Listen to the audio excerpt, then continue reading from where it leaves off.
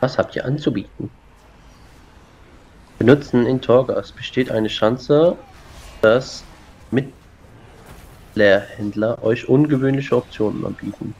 Leute, es gibt wohl, glaube ich, ein Zweihandschwert mit einem Item- Item-Level von 180, episch, was man sich in Maldraxus einfach so holen kann.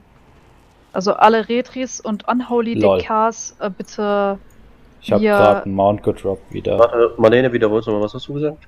Z, Martin. Ein, Danke. ein Zweihandschwert mit Item-Level 180.